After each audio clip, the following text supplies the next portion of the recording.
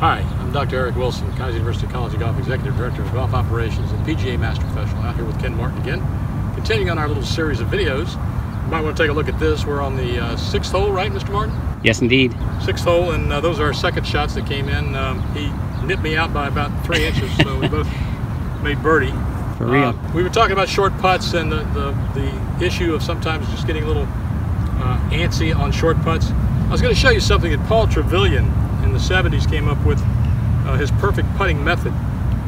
And uh, it's, it's a little bit unique and different, but Dr. Uh, TJ Tomasi on our staff has also written about that. And his suggestion is anything inside of four feet. And he has a very short putter. I've got two putters ordered that are shorter than this, 30 inches long to be exact. Uh, and that's what he recommends, 30 inches. This is 35. But what he says to do is take your normal setup and stance, and then from this distance, go all the way down and use your right arm as a lever to putt the ball into the hole, keeping the right palm at the target throughout.